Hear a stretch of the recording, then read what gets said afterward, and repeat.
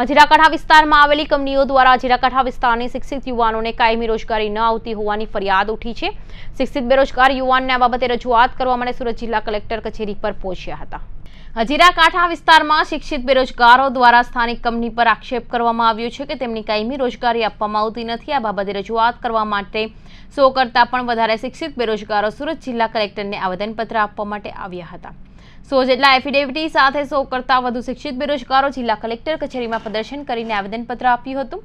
Diploma ITI સહિતની degree ધરાવતા સો કરતાં વધારે શિક્ષિત બેરોજગાર યુવાનોને સ્થાનિક કંપનીઓ દ્વારા કાયમી નોકરી આપવામાં આવતી ન હોવાને કારણે તેમને કલેક્ટર કચેરી પર ધક્કો ખાવો પડ્યો હતો.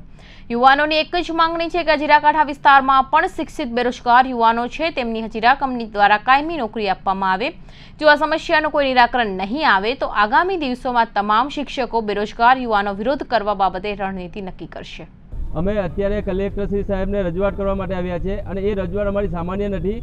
અમારા હજીરા કાંઠા વિસ્તારના મૂળભૂત અસરગ્રસ્ત શિક્ષિત બેરોજગારોને હજીરા કાંઠા વિસ્તારની કંપની અન્યાય કરી રહી છે અને અમારો આ પ્રશ્નો ઘણા વર્ષોથી વણ ઉકેલ્યો છે. એ માટે હવે અમારા હજીરા કાંઠા વિસ્તારના શિક્ષિત બેરોજગારો પોતે કલેક્ટર સાહેબને એફિડેવિટ દ્વારા રજૂઆત કરવા આવી રહ્યા છે કે અમને અમારા હજીરા કાંઠા વિસ્તારની કંપનીઓ કાયમી ધોરણે રોજગારી આપવામાં અન્યાય કરી રહી છે. હાલમાં અત્યારે લગભગ સોથી વધુ જ એફિડેવિટ કરીને અમે આવ્યા છે અને સોથી વધુ શિક્ષિત બેરોજગાર એફિડેવિટ દ્વારા રજૂઆત કરી- કરીએ છીએ કે અમને કાયમી ધોરણે રોજગારી આપો. આ અમારો મૂળભૂત હક છે.